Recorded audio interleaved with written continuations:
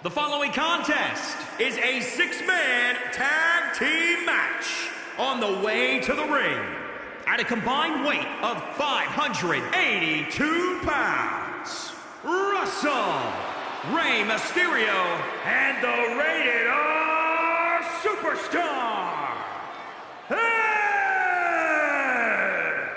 Don't forget that while this competitor was trying to carve out a career in Hollywood, he was also a member of the WWE Universe, watching Raw, SmackDown, and NXT every week.